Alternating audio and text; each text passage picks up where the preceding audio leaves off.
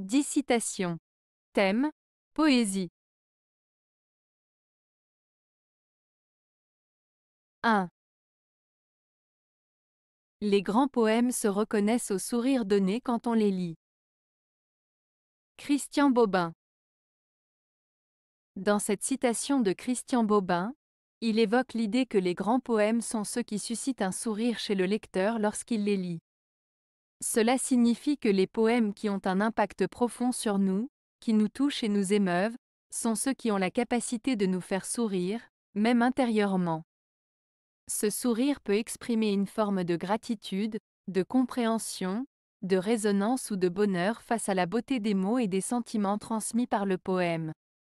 En somme, cette citation suggère que les grands poèmes sont ceux qui ont le pouvoir de nous émouvoir et de nous faire ressentir des émotions positives, symbolisées par ce sourire qui se dessine sur notre visage. 2. La poésie c'est le plus joli surnom qu'on donne à la vie. Jacques Prévert Dans cette citation de Jacques Prévert, la poésie c'est le plus joli surnom qu'on donne à la vie. L'auteur suggère que la poésie est une manière magnifique et spéciale de désigner la vie. En d'autres termes, la poésie permet de voir la beauté, la profondeur et la complexité de la vie à travers des mots choisis avec soin et une sensibilité artistique. Elle offre une perspective unique et enrichissante sur le monde qui nous entoure, en capturant des émotions, des expériences et des vérités universelles de manière artistique et poétique. 3. On ne peut trouver de poésie nulle part, quand on n'en porte pas en soi. Joseph Joubert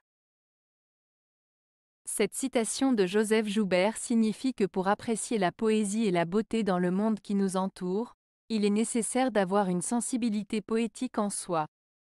En d'autres termes, si l'on n'a pas la capacité d'apprécier et de ressentir la poésie, la créativité et la beauté intrinsèque de la vie, alors on ne pourra pas percevoir ces éléments même en cherchant à les trouver à l'extérieur de soi.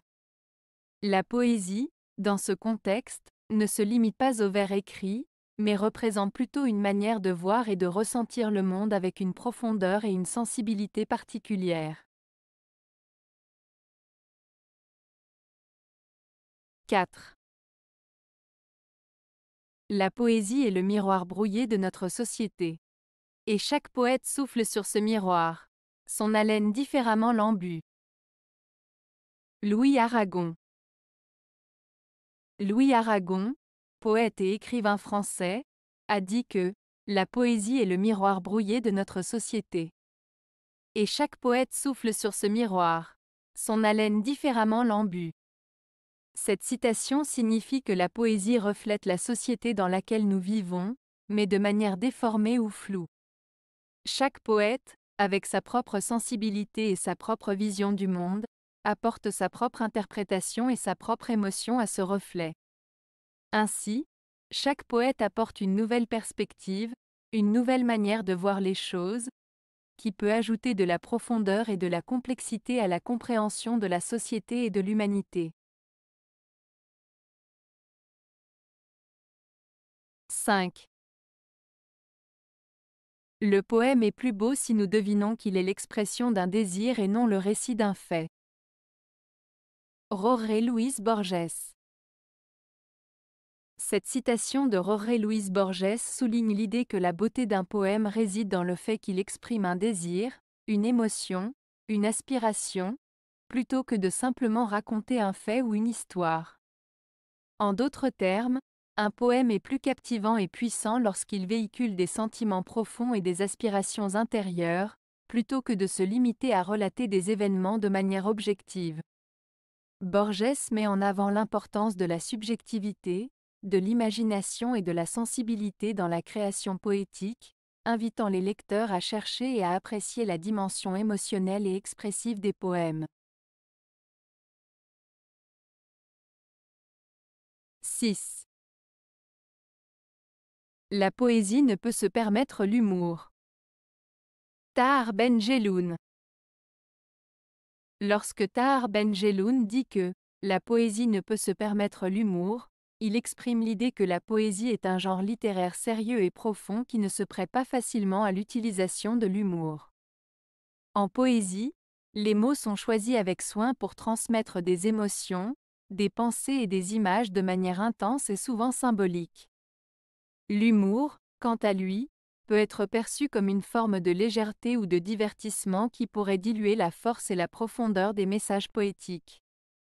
Ainsi, selon Ben Jelloun, l'humour n'est pas un élément compatible avec la nature de la poésie, qui cherche plutôt à toucher les lecteurs d'une manière plus profonde et émotionnelle. 7. Un poème est une ville, un poème est une nation, un poème est le monde. Charles Bukowski Charles Bukowski, écrivain américain, exprime à travers cette citation la puissance et l'universalité de la poésie. Il compare un poème à une ville, une nation, et même au monde entier pour souligner l'ampleur et l'impact qu'un poème peut avoir. Comme une ville qui rassemble diverses personnes et cultures, un poème peut rassembler des émotions, des idées et des expériences variées. Comme une nation qui unit ses citoyens autour de valeurs communes, un poème peut créer un sentiment d'appartenance et de partage. Et enfin, comme le monde entier avec sa diversité et sa complexité, un poème peut refléter la richesse et la profondeur de l'humanité. En résumé, Bukowski suggère que la poésie a le pouvoir de transcender les frontières et de connecter les individus à travers le temps et l'espace. 8. Le poète fait le mur du langage. Georges Perros Lorsque Georges Perros dit Le poète fait le mur du langage, il fait référence au pouvoir des poètes de jouer avec les mots et de créer des œuvres littéraires qui ont un impact profond sur les lecteurs. En utilisant le langage de manière créative et innovante, les poètes peuvent construire des murs de mots qui captivent, émeuvent et inspirent ceux qui les lisent. Cette citation souligne la capacité des poètes à repousser les limites du langage et à exprimer des idées, des émotions et des expériences de manière unique et poétique. 9. La poésie est à la fois une cachette et un haut-parleur. Nadine Gordimer Cette citation de Nadine Gordimer, La poésie est à la fois une cachette et un haut-parleur, peut être interprétée de la manière suivante.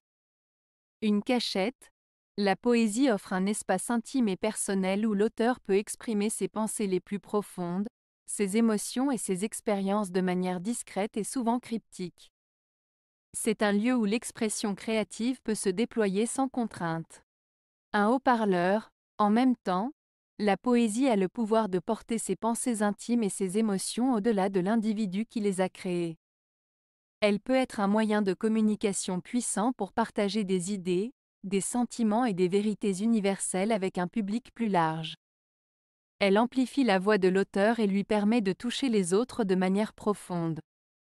Ainsi, cette citation suggère que la poésie a la capacité unique d'être à la fois un refuge personnel et un moyen de diffusion des idées, faisant d'elle un art à la fois intime et universel. 10. Toutes les choses ont leur mystère, et la poésie, c'est le mystère de toutes les choses. Federico Garcia Lorca Cette citation de Federico Garcia Lorca signifie que chaque chose dans ce monde a sa propre profondeur et son mystère. La poésie, selon lui, révèle et explore ces mystères qui se cachent derrière les apparences ordinaires. En d'autres termes, la poésie permet de découvrir la beauté et la complexité des choses simples de la vie en les regardant sous un angle différent et plus profond. Elle nous aide à voir au-delà de ce qui est évident et à apprécier la richesse cachée de notre monde. Avez-vous aimé la vidéo? Si oui, mettez un pouce vers le haut. Cela aidera la chaîne et aidera les autres à la trouver. Nous ajoutons plusieurs nouvelles vidéos quotidiennement. Abonnez-vous pour ne rien manquer.